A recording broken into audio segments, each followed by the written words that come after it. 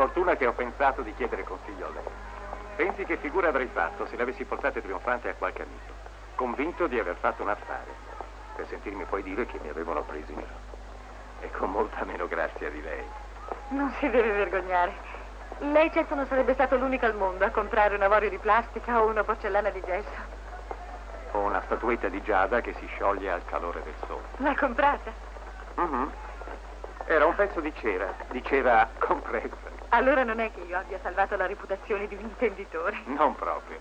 Ma adesso lasci che la ringrazi dell'aiuto. Se permette, eh, le vorrei... Avrei qualche altra commissione. Eh, però accetto. Bene. La festa di, di mio marito quest'oggi.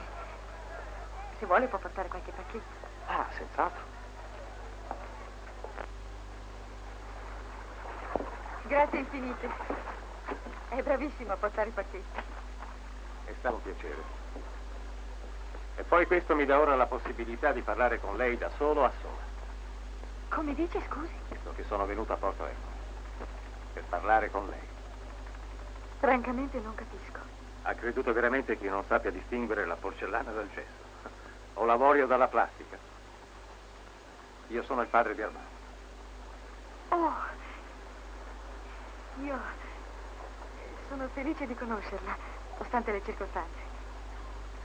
Mi chiamo Margherita Cotti. Lo so chi è lei. E sono al corrente della relazione che ha con mio figlio. Armand sarà molto sorpreso. Mi dispiace, ma non è a Porto Ercole oggi. È andato A Roma, dove cerca di ipotecare quel poco che ha ancora per mantenere nel lusso le... No, Incoraggiato da lei, mio figlio si sta rovinando completamente. ma questo non è vero. Io non ho mai accettato niente da suo figlio. Mi vuole forse far credere che mio figlio l'aiuta a spendere il denaro che le passano i suoi amanti. Guardi che lei qui è a casa mia e l'avviso che non si sta comportando da gentile. E allora? E allora la prego di andarsene.